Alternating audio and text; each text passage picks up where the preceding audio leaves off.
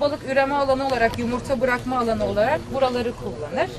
Ee, bu yüzden ayrıca deniz çayırı olan yerde biraz önce dediğim gibi balık da olduğu için balıkçılığa da katkısı vardır aynı zamanda. Deniz çayırları bu yüzden çok önemli canlılar denizlerimiz için. Başka sorumuz var mı? Yok, hadi başlayalım. Başlayalım peki. Wow, çok yakıştı eldivenler.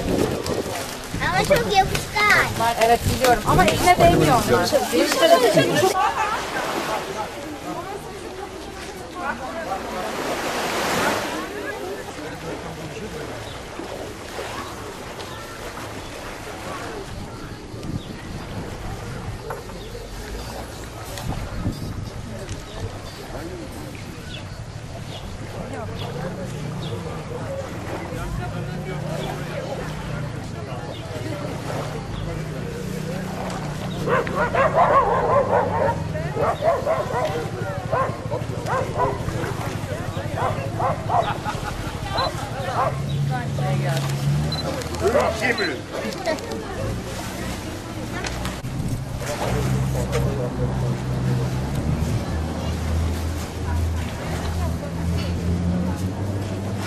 temizleyelim.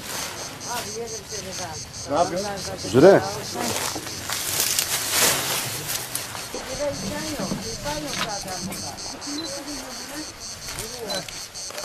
Mesela şunları şöyle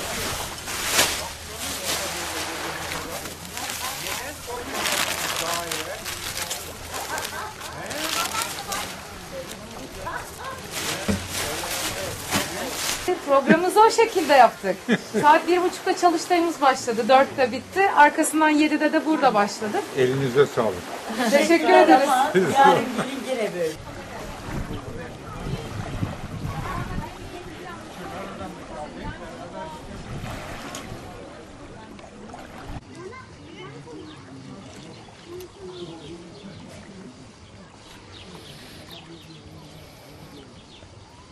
Ben Türk Deniz Araştırmaları Vakfı'ndan Zeynep Gülenç.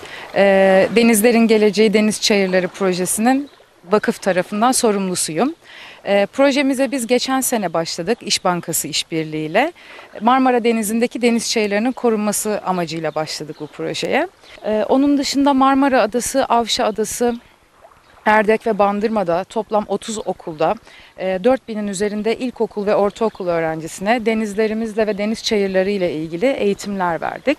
Bugün de Erdek'te bir yerel halk çalıştayı düzenleyerek e, toplumsal bilincin artırılması konusunda bir e, etkinlik gerçekleştirdik. Ardından da şu anda Narlı köyünün sahilindeyiz. Bir sahil temizliği yapıyoruz.